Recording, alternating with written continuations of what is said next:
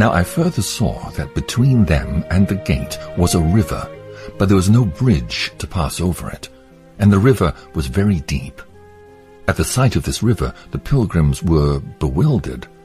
But the men said to them, You must go through the river, or you cannot enter in at the gate.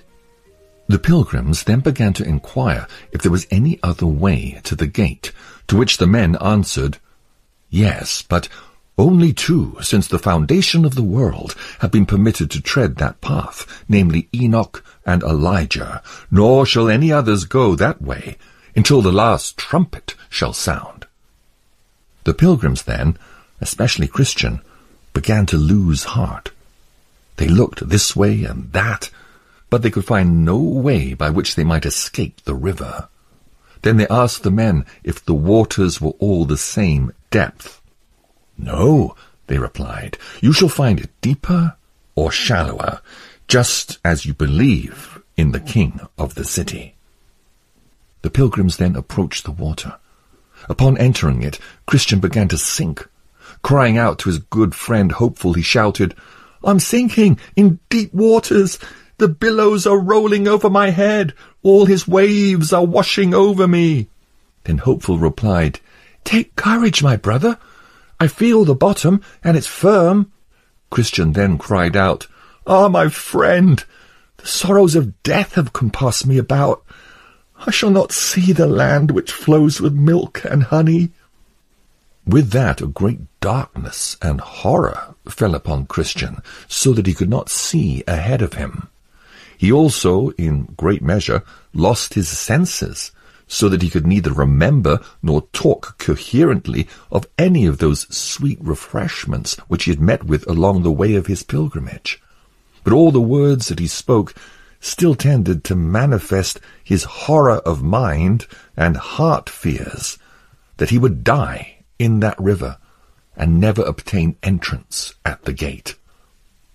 Here also as those two men who stood by perceived, Christian was much in troublesome thoughts concerning the sins that he had committed, both before and since he began to be a pilgrim. It was also observed by his words that he was troubled with apparitions of hobgoblins and evil spirits. Hopeful, therefore, laboured hard to keep his brother's head above water. Yes, sometimes Christian almost drowned, but then, in a short time, he would surface again, half dead.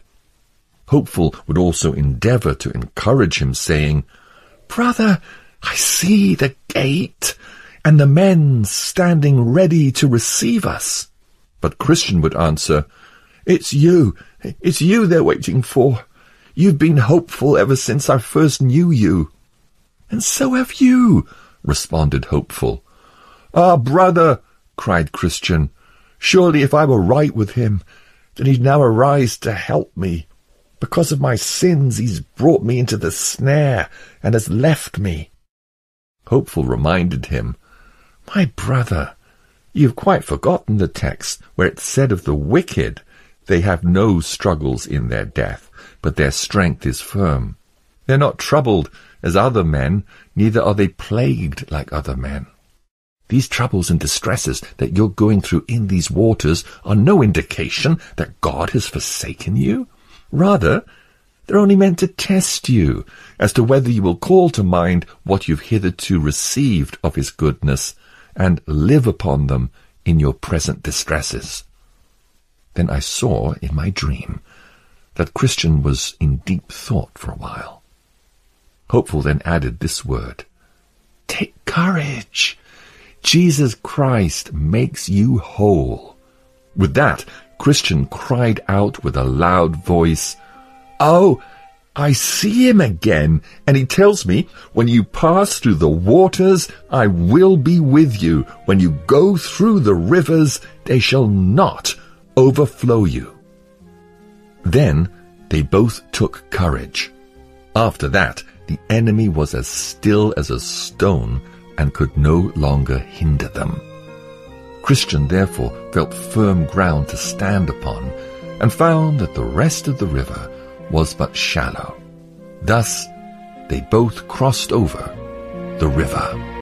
I'm going to finish uh, the study up next week with the story of ignorance because after Christian and hopeful crossed the river of death, then the story is told of ignorance attempting to enter into the gate. But as I had announced last week, I'm putting together a study, a historical study to finish out the spring. We are not here April 1st on revivals at the end of the 18th and the beginning of the 19th century, but I'm also going to discuss uh, revival of 1857 and 1858 that started in New York City and spread in 1858 and 1859 to the United Kingdom, including Wales. And while I was preparing this week, I came across this story, which I want to read to whet your appetite for what we will be discussing. Discussing in the Welsh revival of 1859, a prayer meeting in a meadow was attended by 18,000 people. They called it the most remarkable ever held in South Wales. Some led in prayer. Then they had two minutes of silent prayer. With bowed heads and streaming eyes, the thousands responded. And the solemn and intense silence of those moments was as full of eloquence as any episode. A few minutes later, Thomas John walked in a field nearby, lost in reverie. A friend stopped him and said, What a glorious sight that was when the thousands were engaged in silent prayer. Did you ever see anything like it, Mr. John? He answered solemnly, I didn't see one of them. I saw no one but God. I'm going home, he said suddenly. How terrible is this place? It is too terrible for me. My flesh is too weak to bear this weight of glory. Remember, as we discussed before, the words awful and terrible mean meant different things back then. That meant to evoke terror, and the word awful meant full of awe. But it's just remarkable to me that some people think that this whole thing was just human enthusiasm, that that didn't really happen. And there's a number of stories I'll tell when we get into it that are like things you probably have never heard before. But to return to Pilgrim's Progress, so I saw in my dream that they went on together until they came in sight of the gate. Between them and the gate was a river, but there was no bridge crossing over it, and the river was very deep. The sight of this river greatly stunned the pilgrims, but the men who walked with them said, You must go through the river, or you cannot come at the gate. The pilgrims began to inquire, Isn't there another way to the gate? The two shining ones answered, Yes, but no one has been permitted to use it except for two. Only Enoch and Elijah have trod that path since the foundation of the world. It shall not be used again until the last trumpet sounds. A helpless feeling washed over the two pilgrims, especially Christian. They looked this way and that, but no alternative way could be found that would allow them to avoid the river. Then the pilgrims asked, Is the water all the same depth? The shining one said, No. They could offer no further help or guidance except to say, You shall find it, the river, deeper or shallower, as you believe in the king of this place. From cottage lectures, this Christian and hopeful, with their celestial guides, urged their way to the gate of the city. Lo, between them and the gate was a river there was no bridge to go over, and the stream was very deep. At the first sight of the river, both the pilgrims gave a start. The joyful pace at which they were proceeding was relaxed, and a form of their visage, faces, was altered. They were assured, however, that they must go through, or else they could never come at the gate. Then did they wishfully inquire if there were any other possible way of getting to the gate without having to cross that dreadful stream. To this inquiry, they were told a way indeed there was, But it was so private and special that from the foundation of the world, of all the countless hosts of pilgrims that have passed from this world of sin to the celestial city, only two pilgrims, Enoch and Elijah, had been exempted from the common passage. The king himself had crossed a river, and by his sovereign appointment it was ordained that until the last trumpet shall proclaim the day of doom, there shall be no other mode of approach into the happy land.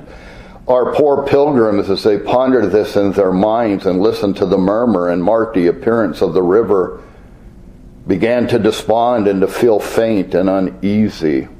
If you know the story, it was very difficult for Christian to get over. And I remember reading this for the first time in Archibald Alexander's Thoughts on Religious Experience. It's interesting that on a book on religious experience, this author spent about one fifth of the book on the deathbed of the believer, preparing for death, stories of deathbeds, and so on. But he says, in view of the absolute and undoubted certainty of our departure out of life, it seems very strange that we should be so unconcerned. If even one of a million escaped death, this might afford, afford some shadow of a reason for our carelessness. But we know that it is appointed unto men once to die. Hebrews 9, verse 27. In this warfare, there is no discharge, and yet most men live as if they were immortal. I remember the foolish thought which entered my childish mind when my mother informed me that we must all die. I entertained a hope that before my time came, some great change would take place. I knew not how, by which I would escape this dreaded event. Death, in itself considered, is a most formidable evil and can be desirable to none. The fear of death is not altogether the consequence of sin. The thing is abhorrent to the constitution of man. Death was held up in terror to our first parents when innocent to prevent their transgression and having entered the world by their sin in whom we all sin, this event has been ever since a terror to mortals. The king of terrors. Man instinctively cleaves to life, so does every sentient being, end quote. So a helpless feeling came over to two pilgrims, especially Christian. They looked this way and that, but no alternative way could be found that would allow them to avoid the river then the pilgrims asked, Is the water all the same depth? The shining one said, No. They could offer no further help or guidance except to say, You shall find it deeper or shallower as you believe in the king of the place. With this, the pilgrims resigned themselves to face the water. Upon entering, Christian began to sink and cried out to his good friend Hopeful, I sink in the deep water. The billows go over my head, all his waves go over me. Then Hopeful said, Be courageous, my brother. I feel the bottom and it is firm. Again, quoting Archibald Alexander in his letters to the aged, though much indebted to John Bunyan, one of the most fertile geniuses the world ever produced, I cannot easily forgive him for making the passage over Jordan to Canaan so very difficult for Christian. If he had carried out the allegory, he would have turned the swelling waves backward and have shown a dry path across the stream. For no sooner had the priests who carried the ark of the testimony dipped their feet in the brim of the river than all the Israelites passed over on dry ground. But after all, perhaps the honest tinker drew his picture from the fact. For as Christians seldom enjoy in life the comfort provided for them, so it is analogous that in death they should lack that comfort to which in Christ they are entitled. So that's the dilemma. Why did John Bunyan make it so difficult for Christian to pass over this river? And I think about it, and knowing what I know of my own introspection and tendency to melancholy, and how absolute that is. As a tree falls, so it shall lie. I could, I could see that there could be some anxiety and even fear in approaching death. And a few months ago, and I wasn't reading it uh, to have a comment on this subject, I wasn't anywhere near the end of Pilgrim's Progress, but I love to dig through these old books that are online, and I came across a book by a pastor named Robert Shirra. And this book is called The Deathbed Dialogue with Mr. Lister of Dundee, Scotland. And where I found that interesting, you got this older pastor who helps a younger pastor of 27 years old, who's actually laboring in the same city as a pastor that Robert Murray McCheyne labored in Scotland. And what's interesting about it is this Mr. Lister, this Pastor Lister, who had only been a pastor for four years, died at the age of 27 in the same city that Robert Murray McCheyne died at the age of 28. But Pastor Lister was not having an easy time on his deathbed. He was born in Dysart the 14th of February 1739 and was ordained to the holy ministry at Dundee the 17th of September 1762. He died at Dysart the 18th of January 1766, being then in the 27th year of his age and the fourth year of his ministry. Being informed that Pastor Lister was in the dark as to the state of his soul, I waited upon him. This is Pastor Shirra and inquired how it was with his inner man and what he had to say concerning the Lord's goodness. His reply was, Nothing. I have nothing to say. I'm a poor, stupid one. I asked him if in some period of his life he had not met with deliverance from the Lord and found joy in his word. He answered, The stony ground hearers received the word with joy. And although he had met with deliverances, they were such as were common. So here he is dying, and he supposes he's nothing but a hypocrite. Then he opened his mind more fully and told me that the Lord did begin a work in his soul about nine or ten years of age, that then his conscience was struck with the arrows of conviction for the sins of his former years, which made him tremble, and the remembrance of them still galled him. Indeed, he said, these convictions were a mean in the Lord's hands of keeping me from youthful follies at the college. But when he heard Christians talk of words coming with power for their relief, it did always sink his spirits, as he had always so little to say that way. He didn't have the sense of his conversion. Robert Shirra answered, You know that Self examination is an ordinance appointed by God for bringing persons to clearness as to the quality of the work on them. And from what had passed, he might perceive the work of God in his heart to be saving. And so a spring of comfort, so far as it is evidenced union to Christ, in whom all the seed of Israel shall be justified. But in regard to comfort as arising from marks was very variable and fluctuating it was his duty and interest to have his eye fixed on an absolute promise, such as that I am the Lord your God, Exodus 20, verse 2. Or that I, even I, am he that blots out your transgression for mine own sake and will not remember your sins. That the blood of Jesus shed for the remission of sins is brought nigh in these, or the like words, was a never failing and an overflowing source of consolation so that's just a beginning of his counsel to him. And as this pastor raised more and more objections, this older pastor really was knowledgeable about the confession and the scriptures. And by the end of the book, this 27 year old pastor had the highest assurance of his faith reality and was able to face his death so much more boldly. And I've narrated that, and that's on my site, puritanaudiobooks.net, under Robert Shirra, S H I R R A. But it is said of John Knox in the hour of his death that having seemed to have fallen into a slumber, interrupted with heavy moans, and being asked why he sighed so deeply, he replied, I have during my life sustained many assaults of Satan, but at present he has assailed me most fearfully and put forth all his strength to make an end of me at once. End quote. James Rogers on his commentary on Pilgrim's Progress God's people may long have thoughts about death, and they may have been long preparing for death, but after all, when they come to stand upon the brink of the river, when they feel the cold breeze from its waters blowing upon their souls, they will find it even more awfully solemn than they even thought of through life. How many reluctant feelings will now struggle in the heart? The solemn sensation of passing out of time into eternity, the pangs of dying, the forcible removal of the soul from her ancient habitation, the breaking up of the earthly habitation, the thought of entering the world of spirits and appearing before the judge of all. No wonder if thoughts of these things cause a soul to tremble upon the brink of dissolution.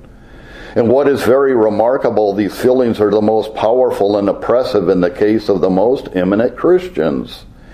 He who holds in his hands the keys of hell and death is sometimes pleased to try them severely in the hour of dissolution.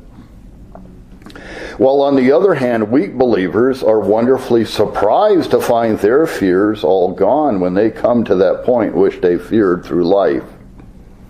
But such is the prospect of death to the believing people of God, so awfully solemn does it appear when near at hand, that nothing can sustain the soul but a firm personal reliance upon the Lord Jesus Christ as dying for our sins and rising again for our justification, and now exalted to the right hand of God to communicate all necessary supplies of grace for the support of his people in life and in death.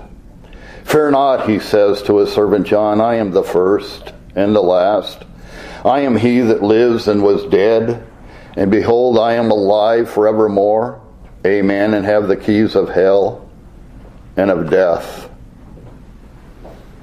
Charles Overton, from his cottage lectures on Pilgrim's Progress, 1849. Soon we shall get a sight of the river we shall hear the solemn murmur which it makes. We shall see it in all its awful reality stretched before us. And what a sight will that be? How shall we start and shrink? And how will the coward flesh recoil at the view? What a trial will this prove to our faith? What a test of our principles. No knowledge, however clear, of the gospel plan of salvation, no sensible comfort which we have formerly enjoyed nor even the actual possession of true grace in our hearts can certainly enable us to look on without dismay and still to advance with unhesitating step. Nature will shrink at the sight of death. Death as a penalty of sin is a most awful event. Why is it called in the Bible the King of Terrors when we come to the brink of the river and find that there is no escape? And when it is said to us individually, Thou art this day to go over, how many solemn and affecting thoughts will crowd upon the mind, and how many reluctant feelings will struggle in the heart. The solemn sensation of passing out of time into eternity, the pangs of dying, the forcible removal of the soul from her ancient habitation, the only one in which she has ever dwelt, the breaking up of the earthly tabernacle. Oh, how can we realize all this without a feeling of the deepest awe taking hold upon us. The most experienced Christians sometimes may be a prey to this feeling even more than another. The degree of comfort or the sensation of awe with which a person looks death in the face is very far from being a sure indication of his spiritual state. Strong faith is sometimes strongly tried. Eminent Christians on particular occasions sometimes show that their usual graces are not in lively exercise. He who has the keys of death orders all the circumstances of it according to his own good pleasure. Sometimes in compassion to a feeble minded but true disciple, the waters are remarkably low. And at other times, when a long tried disciple has to pass over, the body is so racked with pain, the mind so harassed with temptation, that the passage looks very formidable and the Jordan seems to have overflowed all its banks. Still, however, as a general rule to every individual, it may be said, you shall find it deeper or shallower as you believe in the king of the place. I didn't put the story here, the quote from, I thought about it a lot this week. Uh, Henry Gouger's two years imprisonment in a Burman prison. Gouger was one who was hanging upside down in a prison in Burma where only his head and the back of his shoulders were on the ground and his feet were held up by ropes with a log going through it. And at night, they didn't sleep well and had too much time to think. And Gouger remarked as he knew that people were being taken out of prison and some of them put to death, and that the king of Burma was arbitrary and a tyrant. And he reflected to himself that all of the theology and everything that he had learned up till now was being tried, and now more importantly than at any time in his life, one thing mattered, and that is, am I in Christ? Is my faith in Him? Because each night they didn't know what the next day was going to bring forth. And thankfully, God preserved Gouger and Judson, Adoniram Judson, and Gouger was able to write that book, but the way they wrote in the 19th century about the reflections of what was going on has always been an inspiration and remarkable to me. But Alexander says, and this is a, um, just a few years after that happened, in 1844, some no doubt die under a cloud and go out of the world in distressing doubt respecting their eternal destiny. It is to guard against such an event that we would exhort all professors of religion and include ourselves in the number to begin in time to make preparation for death. Dear brethren, let us look well to the foundation of our hope. We cannot bestow too much pain and diligence in making our calling and election sure. We shall never regret on a deathbed that we were too much concerned to secure the salvation of our souls, or that we were too careful in making preparation for another world. Let us remember that our time on earth is short and that whatever is done must be done quickly. There will be no opportunity of coming back to rectify what has been done amiss or to supply what is lacking, in quote. Certainly a, a challenge to me. You know, it's so easy to be caught up in the cares of this life and the anxiety of just trying to have symmetry of Christian character in everything you do your finances, your work, your relationships, and so on. And back then and before, uh, death was so commonly around them. I mean, if a pastor died at the age of 27 and 28, or I think about the case of John Owen, the Puritan who died in 1683. You can look through John Owen's life and you won't find any comments on it. It was reflected in uh, biography of him by Andrew Thomson and William Orme that John Owen, out of 11 children, 10 of them died in infancy, and the 11th died of tuberculosis at the age of 19. He had no surviving children, and yet he doesn't even reflect on it in any of his writings, which is simply remarkable. But they were so much more used to the fragility of life in those days compared to now. In Pilgrim's Progress, it says, Then Hopeful said, Be courageous, my brother. I feel the bottom and it is firm. Christian cried out further, Awe, my friend, the sorrows of death have totally encompassed me. I shall not see the land that flows with milk and honey.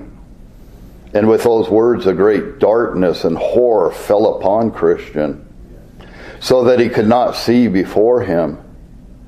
To a large degree, he lost his senses, so that he was unable to remember or talk intelligently about any of those sweet refreshments that he had experienced along the way of his pilgrimage. Rather, all the words he spoke revealed his present terror of mind and the fear that he would die in that river and never gain entrance into the celestial city. Those who stood by could see he was greatly troubled with thoughts of the sins he had committed, both before and since he became a pilgrim. It was also clear that he was troubled with visions of demons and evil spirits. The words he spoke reflected this over and over. Well, I had already handed on this as we were going through Pilgrim's Progress that uh, this is consistent with Christian's character. He goes through the valley of the shadow of death, and at the time, faithful was ahead of him and didn't have those agitations, those fears, that trembling that Christian had. And Christian spent a good deal of time in the slough of despond, and Christian had to fight with Apollyon and so on. And it Bunyan's just being consistent. Christian I mean, think about all of the things that God had already shown him, the mercies, and they had just gone through the land of Beulah, and he had rescued them from the castle of giant despair, and here he is at the river of death. And none of these things seemed to make it that he had gone through in the past made its proper impression on him to give him faith for the present. William, I mean, Cheever says of William Cowper, Life, Genius, and Insanity of William Cowper. When Cowper wrote The Castaway, that was a, a long poem. Cowper was a prolific poem writer. You know, I had mentioned before that him and John Newton wrote the Olney hymnal, and one of the reasons they wrote that was to be remedial for Cowper because Cowper would write a poem and Newton would write a poem and Cowper would write a poem. And that's how they could fellowship but Cowper got to the 60th somewhere in the 60s number of hymns and never wrote another poem. He went into such despair. And Newton finished the hymnal with over 200 hymns but well, what happened in the end with William Cowper, who four times in his life had suffered such depression? When Cowper wrote The Castaway, he was in reality, as to time, just on the verge of heaven. The day of his deliverance was drawing nigh. Nevertheless, up to the last hour, his mind remained in deep, unbroken gloom. In March, the physician in Norwich, being requested to see him, asked him how he felt. Feel, said Cowper, I feel unutterable despair. The 19th of April, Mr. Johnson, apprehending that his death was near, adverted to the affliction both of body and mind which Cowper was enduring, and ventured to speak of his approaching dissolution as a signal of his deliverance. After a pause of a few moments, less interrupted by the objections of his desponding relative than he had dared to hope, he proceeded to an observation more consolatory still, namely that in the world to which he was hastening, a merciful Redeemer had prepared inexpressible happiness for all his children, and therefore for him. To the first part of this sentence, Cowper listened with composure, but the concluding words were no sooner uttered than he his passionately expressed entreaties that his companion would desist. He said, Please, please stop. Desist from any further observations of a similar kind clearly proved that though it was on the eve of being invested with angelic light, the darkness of delusion still veiled his spirit. But he died as calmly as a sleeping infant in the afternoon of the 25th of April, 1800 and from that moment, the expression into which the countenance settled was observed by his loving relative to be that of calmness and composure, mingled as it were with holy surprise. And he regarded this as an index of the last thoughts and enjoyments of his soul in its gradual escape from the depths of that inscrutable despair in which it had been so long shrouded, end quote. What do you do with a story like that if your theology is that assurances of the essence of faith and doubting your salvation is a black mark against your testimony? I don't know how you could counsel someone like this. You would have to conclude William Cowper was not a Christian. And that's just depressing that someone could come to that conclusion. God does move in a mysterious way, as Cowper said. But he also knew there is a fountain filled with blood drawn from Emmanuel's veins, and sinners plunged beneath that flood lose all their guilty stains. And I believe we'll see William Cowper in heaven. There's no doubt in my mind. Back to Pilgrim's Progress. Therefore, Hopeful struggled in his attempts to keep his brother's head above water. Sometimes Christian would seem to have sunk down for good, but after a short time he would rise to the surface again as one half dead. Hopeful attempted to comfort him, saying, Brother, I see the gate and men standing nearby to welcome us.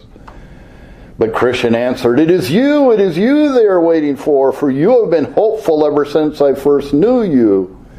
And so have you, Hopeful said.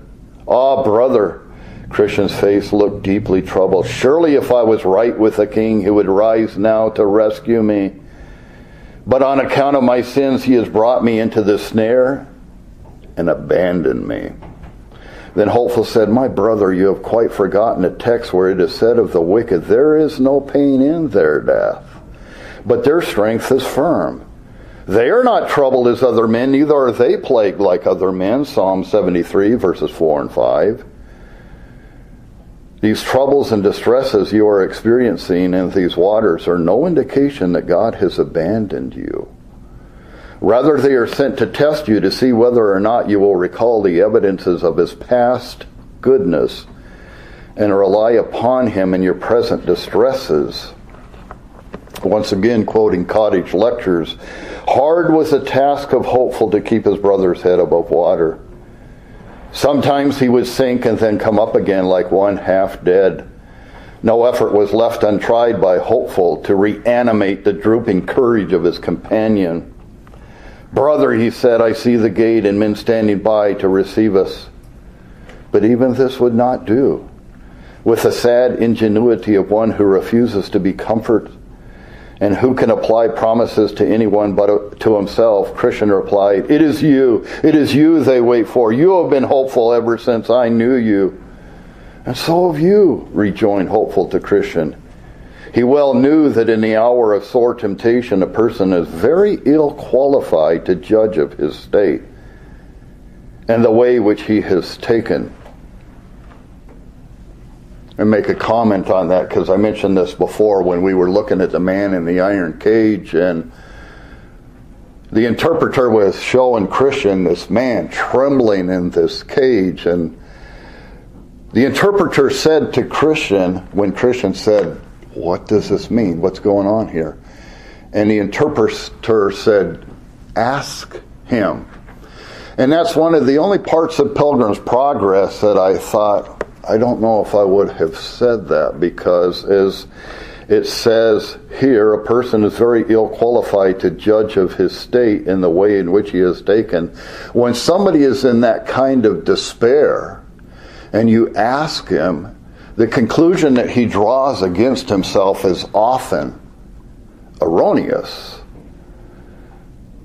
But Christian said, Surely if I were right, he would now rise to help me. But for my sins, he has brought me into the snare and left me.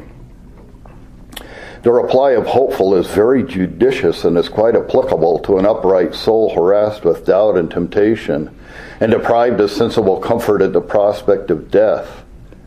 Is it not said of the wicked, There are no bands in their death, but their strength is firm? They are not troubled as other men, neither are they plagued like other men. The troubles and distresses that you go through in these waters are no sign that the king has forsaken you.